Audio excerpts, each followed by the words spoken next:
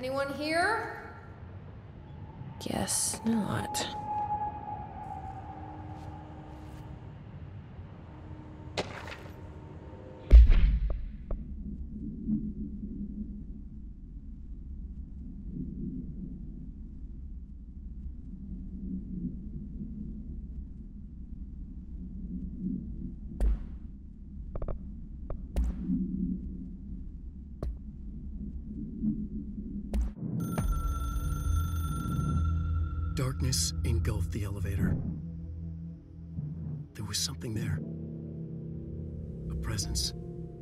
Jesse Faden could hear it.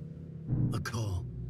It was faint, reaching for her from a dark place. Faden was sensitive to visitations. She had them all the time. From her guiding star and the previous director. She was the perfect receiver. As if she'd been made for this. Faden paused to feel it. The force at play here. It was changing things around her, subtle, trying to make her act. Faden didn't like that. Her guide felt it too. Polaris didn't flare up in defense as with the hiss. So it wasn't all bad. Not a hostile transmission. It was powerful, but it was coming from far away. And made weak because of the distance. It was a distress call. Faden sensed a drowning man. A man desperate to escape. She sensed something else, too. A hunger in the dark. Not unlike the hostile resonance. Waiting. She knew that desperate acts can have grim consequences. It was this, more than the man's despair, that made her follow the call. The elevator lights winked back on. The darkness receded like a memory. There was a new button on the elevator control panel. Investigation Sector. Faden pressed the button. The elevator doors slid shut with practiced bravado.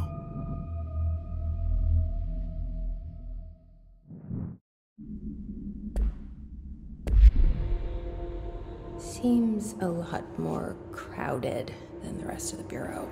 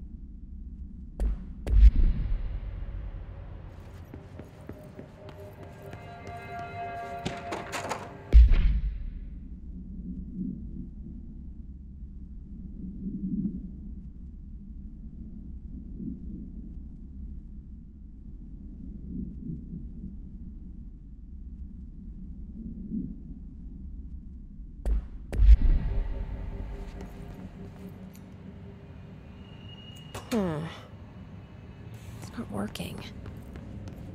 Probably a loose power core somewhere.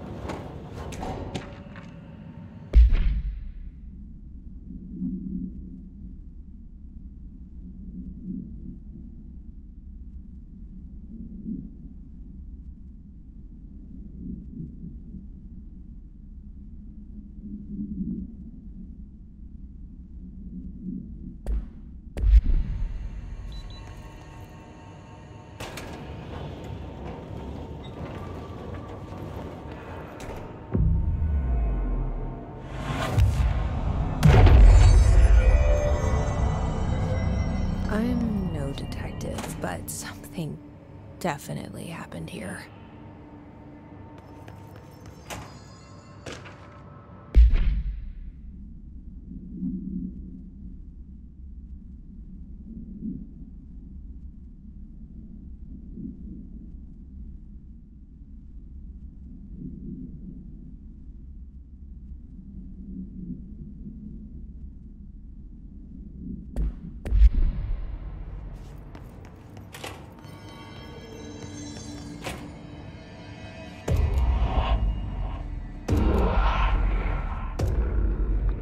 each other?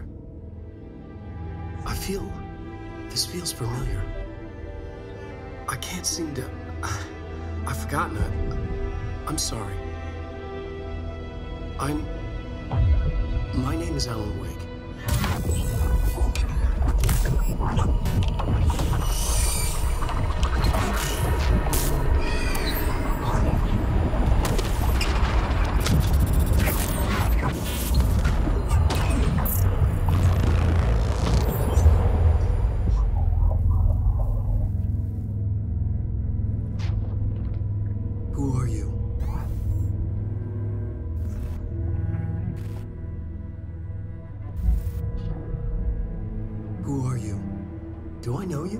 friend Tom. Tom Zane. There's nothing to worry about. Tom. The poet. The diver. You, you look different. That was just a, a role, a character. The protagonist I played in my, my old film. I'm a filmmaker, an auteur like yourself. We're working on this together, remember? An artistic collaboration.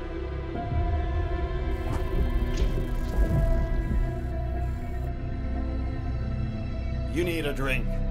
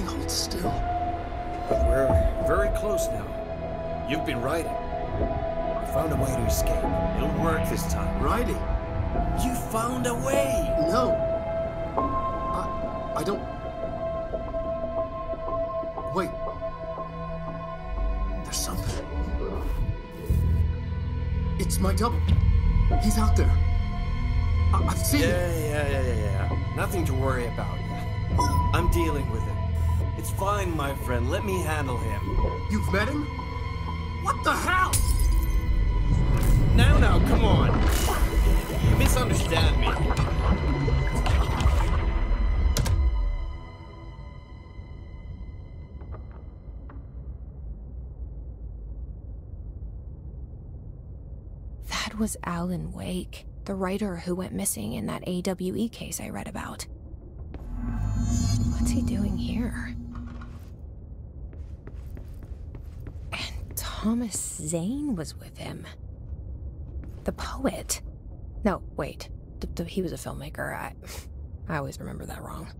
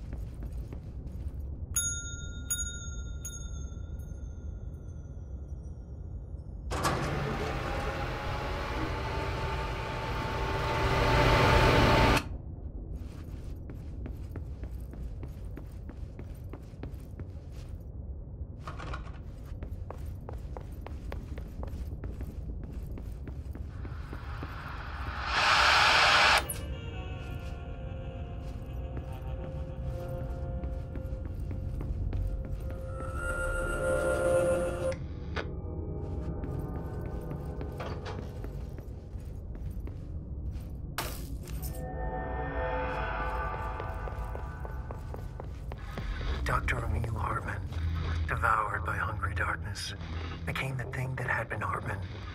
Broke loose, killed everyone it could, lurking, roaming, waiting.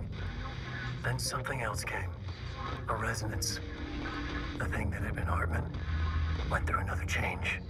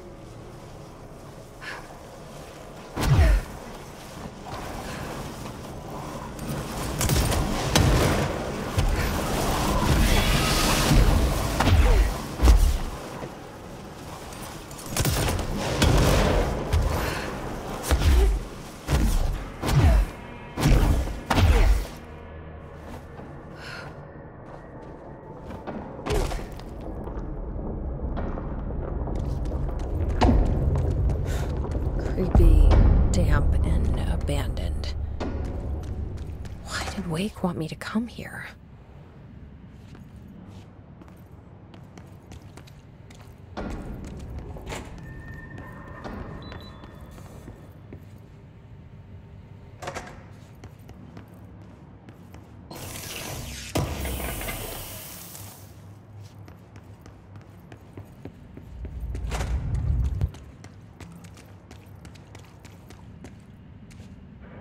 That doesn't look like a house shift. Do I even want to know?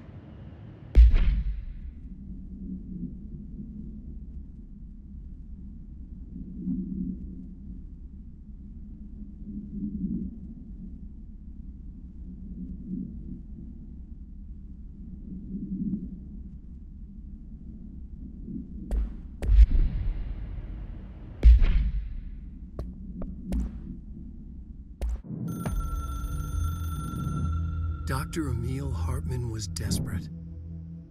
The Federal Bureau of Control had stolen his life's work. This was his last chance, his final experiment. What he'd been too scared to do before. Hartman dove into the lake, was taken, devoured by hungry darkness, became the thing that had been Hartman. Only an echo of him remained, fragmented impulses on autoplay, violent, bloodthirsty darkness in the driver's seat. Emerging from the lake, the thing was captured by the FBC. Brought in, contained, studied. The thing broke loose, killed everyone it could. The FBC fell back and sealed the sector. The thing was alone in the dark, lurking, roaming, waiting. Then something else came. Not darkness, but similar enough. A sound. A resonance. It shouldn't be a surprise. If there's one, why not another? The darkness inside the thing could have been immune, could have resisted, fought, could have been passed by, passed through with no effect. But it didn't and it wasn't. Maybe it had grown weaker over time, not aged. It was timeless, but weaker with no link to its source. A metamorphosis followed. The thing that had been Hartman went through another change.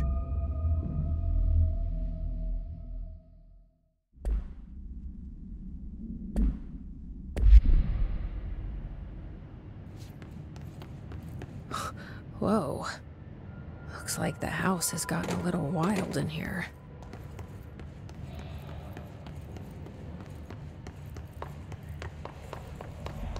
This darkness is blocking the door. So now I have to deal with an interdimensional noise and sentient shadows.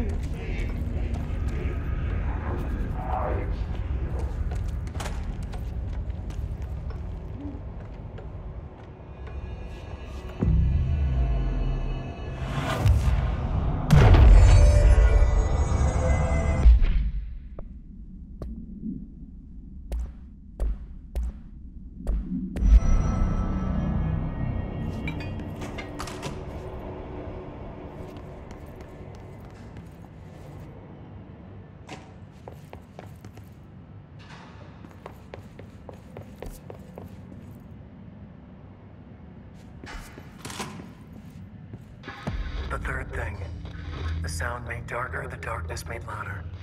Hartman was stretched, like a worm through time. The third thing was a monster. Now he crashed out of darkness toward Faden.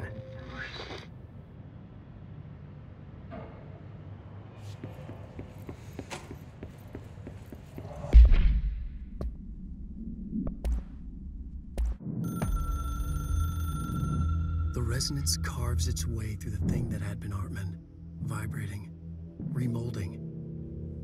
sound changes the darkness, and the darkness changes the sound. They both changed what remained of Hartman. They all turned into something else. A third thing. The sound made darker. The darkness made louder. Hartman was stretched.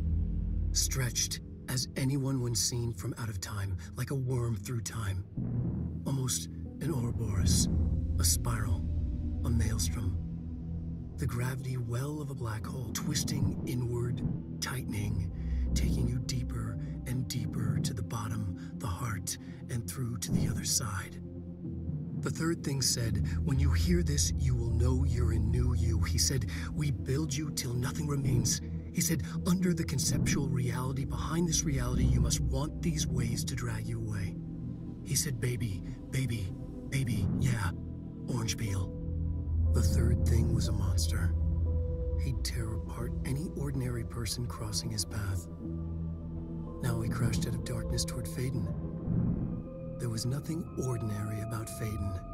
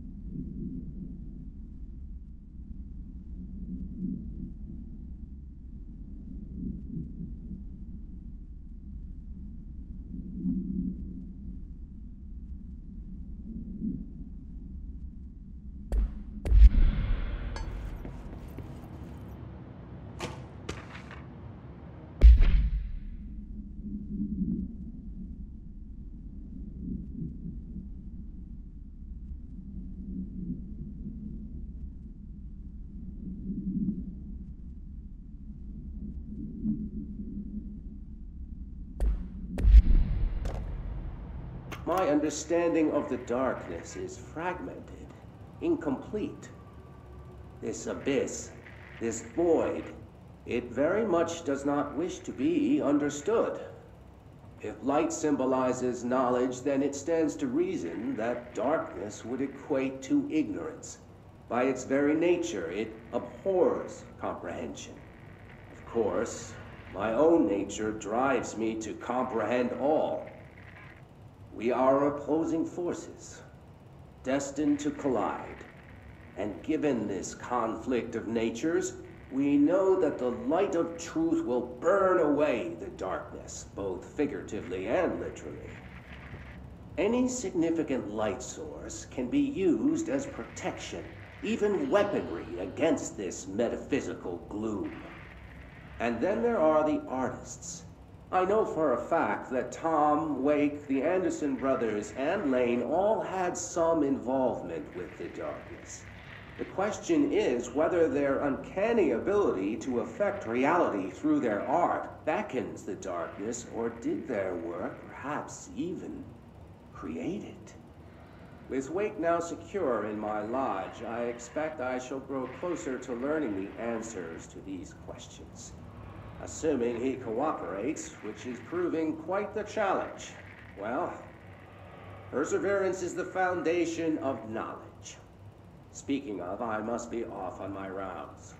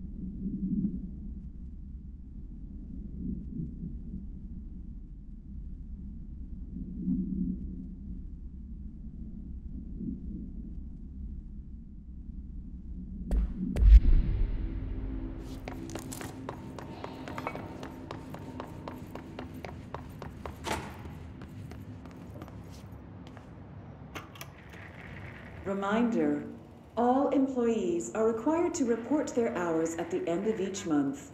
The Federal Bureau of Control maintains that time is not subjective, and hours passed on alternative planes cannot be claimed. Astral dives do not accumulate overtime compensation. Thank you for your attention.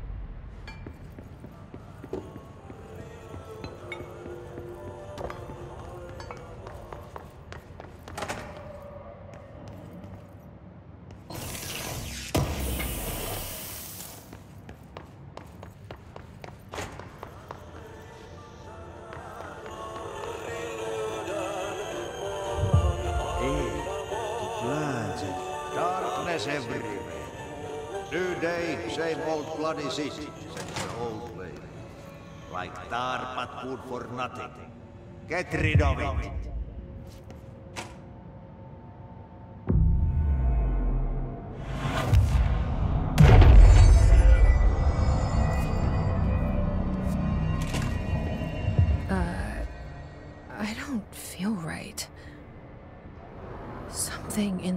Darkness is draining me.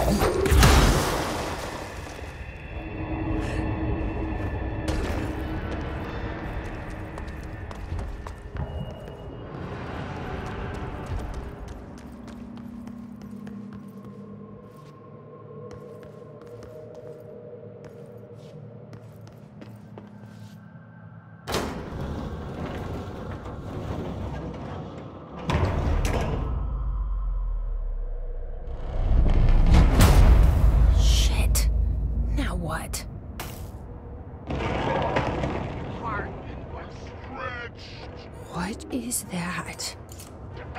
Hungry darkness. Come on, elevator, time to go! Fuck, fuck, fuck! So you don't like the light?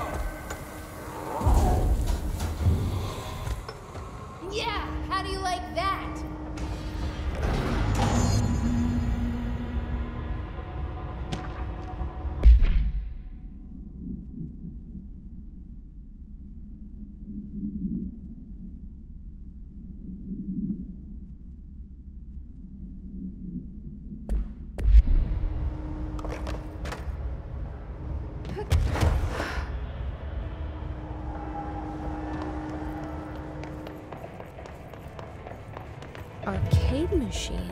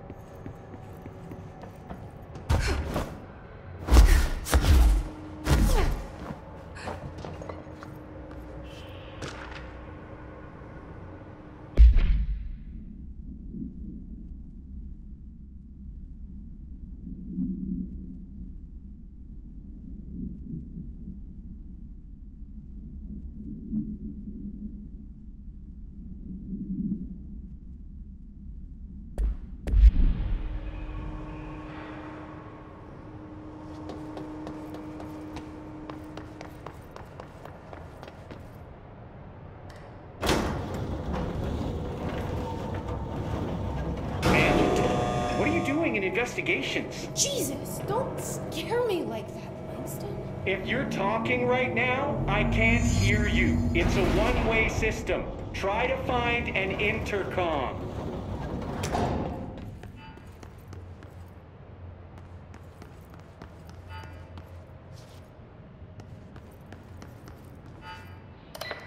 Langston, it's me, Jesse. I know. I can see you on the monitors. Cameras in there haven't worked since we sealed that sector off a couple years back. Let me guess. You sealed it because of the monster guy. Wait, did you see Dr. Hartman? Jesus, I really wish you hadn't opened that firebreak. Okay, listen, you need to find Hartman and kill him before he gets out into the Bureau. That thing is a person? He was a person. We brought him here to study after he was, uh, oh, altered in an AWE. I forget the medical word for what happened, but now light physically hurts him. Do you have a flashlight? No. Uh, a lantern? Headlamp? Oh yeah, flare gun. Oh, Christmas lights. You could wrap them around your... I don't have any of those, Langston. Shit. Okay, uh, well, I'm sure you'll think of something. I'll keep an eye on you from the Panopticon. This is kind of exciting, right? Maybe from where you're standing. Right, okay. Well, uh... Break a leg. Oh, why did I say that? Okay, this Hartman thing can't have gotten very far. Let's go flush him out. Hmm. Langston was right. This is kind of exciting. It's just nice to have someone to talk to, you know? Ever since I got put in charge of the Panopticon, people treat me different, like I'm crazy for wanting to work with altered items. People just don't understand the altered items like I do, you know? I don't want to brag, but it does take a very empathetic mind to connect with the items. Doesn't Still, I don't know why brag. people are making it so personal. Right. I mean, the teams in research handle paranatural materials every day, and no one thinks they're weird. Well, maybe that's not true. Darling is famous for being a bit out there, but when he's weird, it's charming. Altered items really aren't that frightening once you get to know them. If you figure out what they like or don't like, you know, what sets them off, then there's nothing to worry about. I guess at the end of the day, we're still just wild animals scared of our own shadows.